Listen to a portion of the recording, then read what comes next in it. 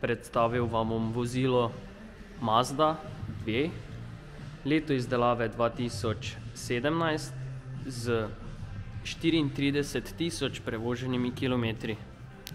Izpušni lonec zadaj je v odličnem stanju brez poškodb. Prema od zadaj je nepoškodovana. Zadaj levo vzmet in blažilnik sta v tehnično brezhibnem stanju.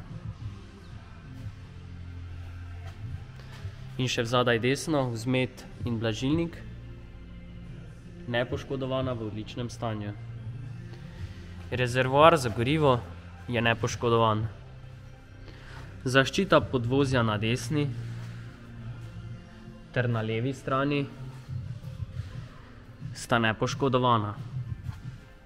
Spredaj levo roka, končniki, manšeta ter vzmetenje v odličnem stanju. Ponjava pod motorjem je nepoškodovana. In še spredaj desno roka, končniki, manšeta ter vzmetenje v odličnem stanju. Odbijač spredaj ima na spodnji strani nekaj površinskih praskic.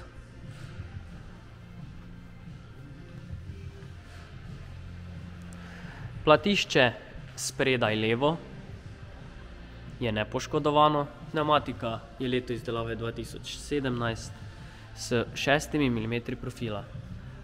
Prag vozila na levi strani je nepoškodovan.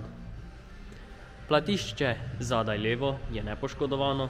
Pnevmatika je leto tisoč sedemnajst s šestimi milimetri profila. Odbijač zadaj je nepoškodovan. Platišče zadaj levo je nepoškodovano. Pnevmatika je dva tisoč sedemnajst s šestimi milimetri profila. In še prag vozila na desni strani je prav tako nepoškodovan. Platišče spredaj desno je tudi nepoškodovano. Pnevmatika pa ima šest milimetrov profila.